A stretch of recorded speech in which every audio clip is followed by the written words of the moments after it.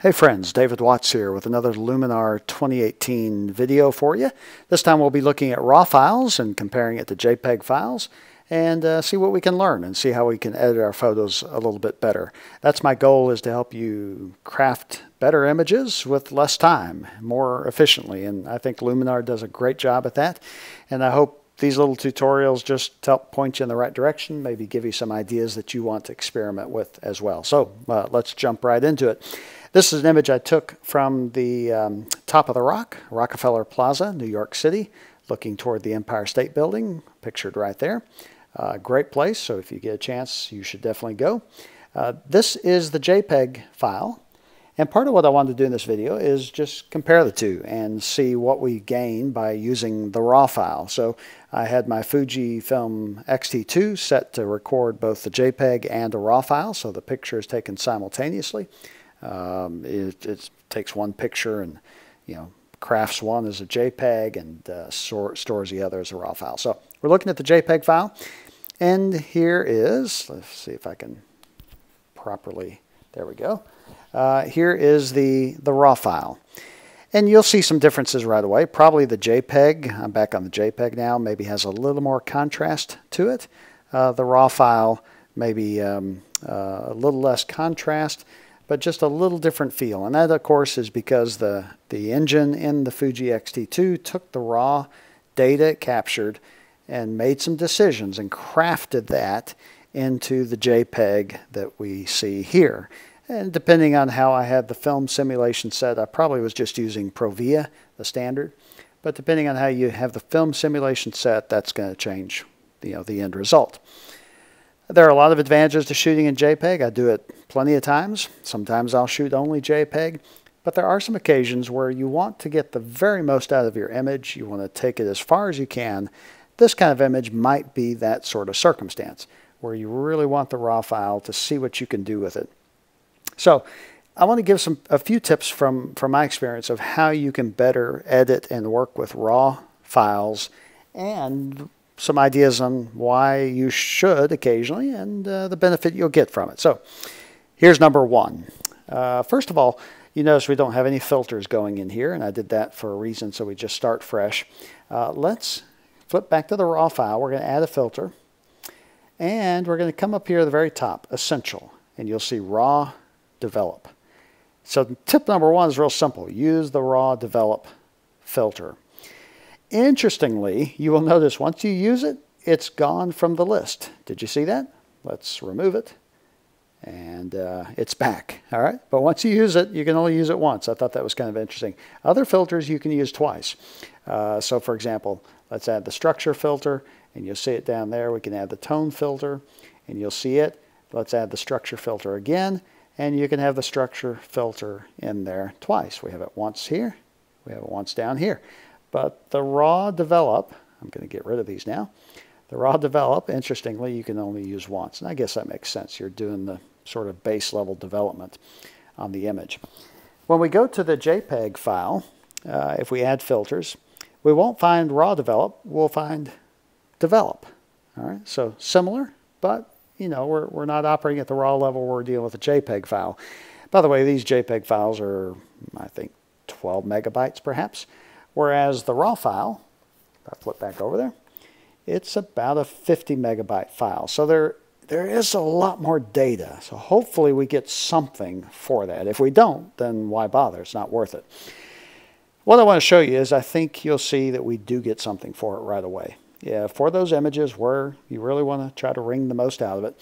And, and as this, I think, somewhat typical, it's always good to set the white balance or to adjust that a bit and one of the ways we can do that is with this eyedropper. And we're looking for something kind of neutral gray. And right away you'll say, yeah, that does not work. And sometimes the eyedropper thing just doesn't work at all. Uh, let's uh, sort of do Command Z and get back to something realistic.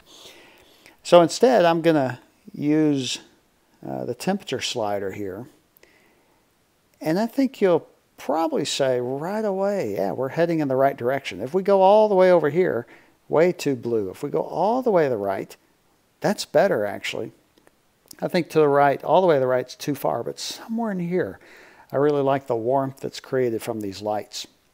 Now, let's flip back to the JPEG file.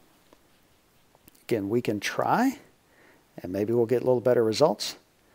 Eh, maybe a little bit better results. It wasn't nearly so sort of radical. But still, I think I'd rather try to set the, the white balance myself. And one thing, again, let's slide it to the extremes as we did with the raw. And, and right away, you can see some kind of weird results happening there when we slide it too far. Let's come to the right like we were doing and see if we can get something pretty similar to what we had with the raw file. And so we're back to the raw and we'll just flip back and forth comparing the two. And one of the things I think you'll see is that we've got some nice gray skies here. And with the JPEG file, it, it just retains a bit of a blue, kind of a blue-gray tint uh, that we probably are not going to be able to get rid of. If I go all the way to the right, it just, it's just going to keep this sort of blue tint to it.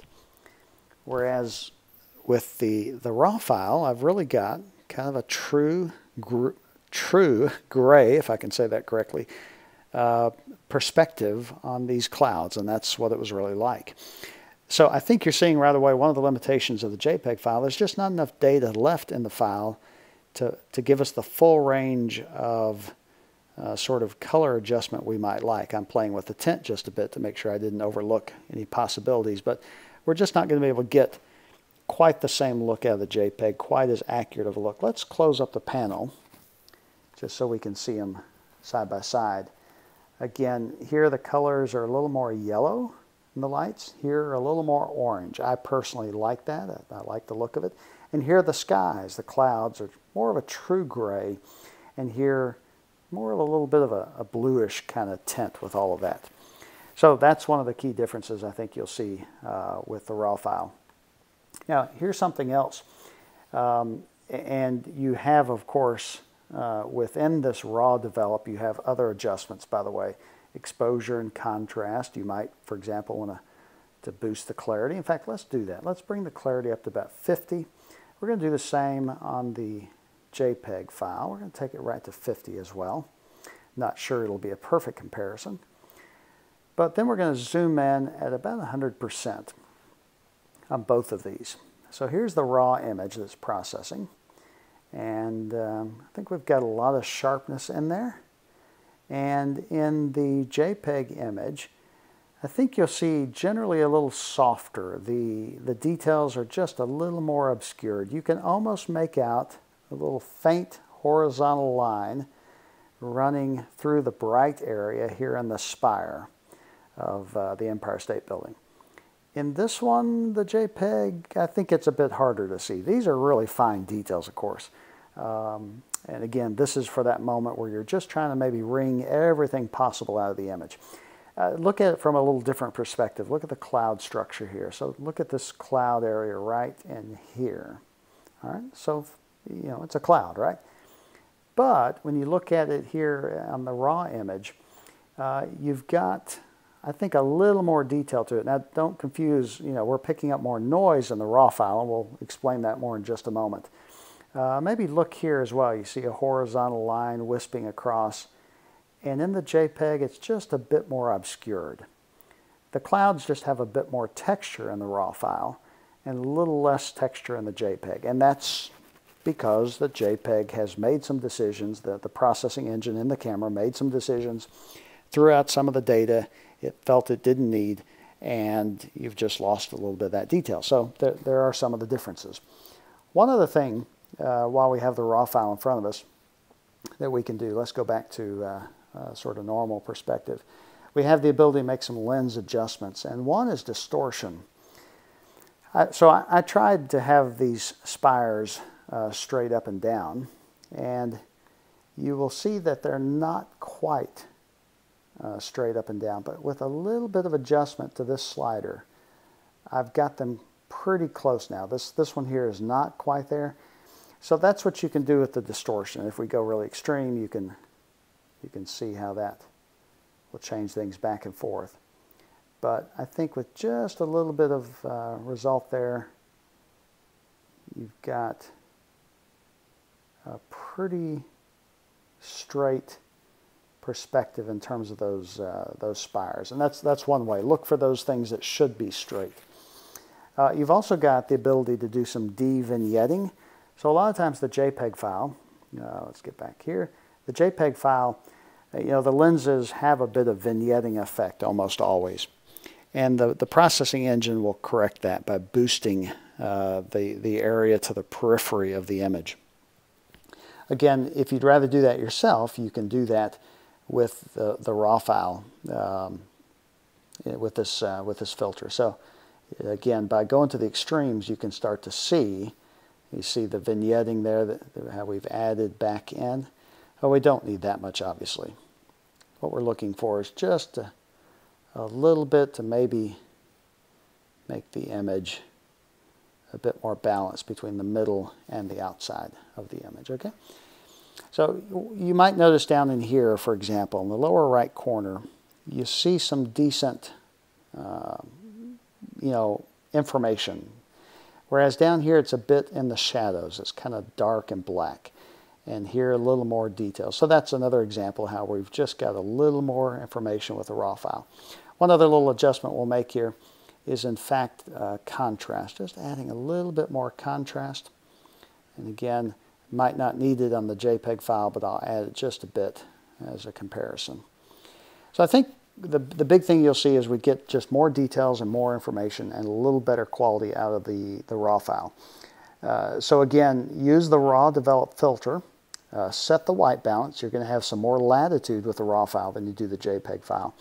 Um, in general, I think you'll have a little better sharpness with the raw file. Finally, uh, we mentioned the noise situation, and that's something you will likely have to address a bit more, especially a nighttime image like this. This was ISO 3200, um, and so usually you're going to have to do a little bit of denoise kind of work. So let's add that filter. And it's right here under Issue Fixers. And if we, if we go back in at 100%, you will see there is definitely some noise in this raw image. When we look at the, um, the JPEG file, and we zoom in same place, there is less noise, isn't there? So raw, you see more noisiness, and with the JPEG, it's obscured, okay? That's part of what the processing engine did for us. But you might prefer to control that yourself. So if you're shooting raw, you will need to control yourself. And let's just, for illustration, go about halfway. Always do this at 100%. That's my judgment. I think others probably recommend the same because that's where you can really see the noise reduction. And right away you see that we've gotten rid of a ton of it. If we turn that filter off, there it is. If we turn the filter back on, the noise is basically gone. If you go too high with this, of course, of course you will obscure details that you want to keep. Uh, but you know something usually in the lower half of this luminosity slider will be sufficient. If we compare it to the JPEG, uh, you, you don't see much noise in here, and I'd say the images are pretty similar. I would still argue in the JPEG, uh, the details in the clouds are just a bit more obscured. Focus on this area up here. And here I believe you've just got a little more life to those clouds in the raw file. So look, especially in this area, see it's just kind of blah. Here, just a bit more texture, at least to my eyes. So those are some quick uh, suggestions or tips I would make about working with raw files. Number one, use that raw develop filter. Uh, use the white balance function within it. Uh, I think you'll get better sharpness generally with the raw file. Generally, whatever you need to do, you've got more latitude to do it with the raw file. If your JPEG is spot on the money, then you likely have less you need to do.